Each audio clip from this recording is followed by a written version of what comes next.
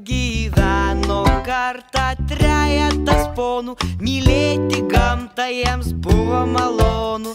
Vieno iš jų buvo vardas, Kiekvienas, kaiminystė gyveno. kažkas, Ir niekas. Kažkas kažkodėl metė šiukšlę į šalį, niekas nesuskubo įdėti jos į maišelį. Kiekvienas matė šiukšlę, bet irgi nepakėlė, kaimynams bus graži mažytė duonėlė.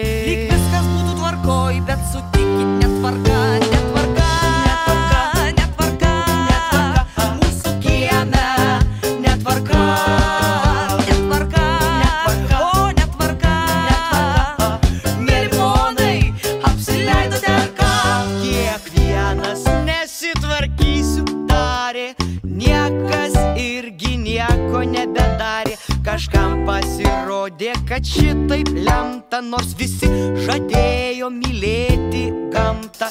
Kiekvienas kiemo dulkes uosto, niekas dėl šiukšlių nebesudeda bluosto. Kažkas dar bandė pykt ant kaimynų, bet po truputį jų kiemas pavirta savartynu. Lyg viskas būtų tvarkoj, bet sutikit netvarka,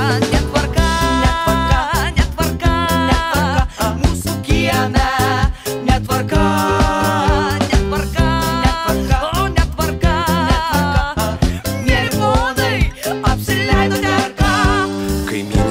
labai išsigando, kai vieną dieną kiemo šiukšlėse paskendo netvarka, netvarka mūsų kieme, netvarka, mėly ponai. Susitvarkome ar ką, kiekvienas suvokė, kad tai labai rimta, kažkas susigaudino ir baisiai susikrito. Niekas naujai tvarkai neprieštaravo ir visi trys kaimynai sušuko.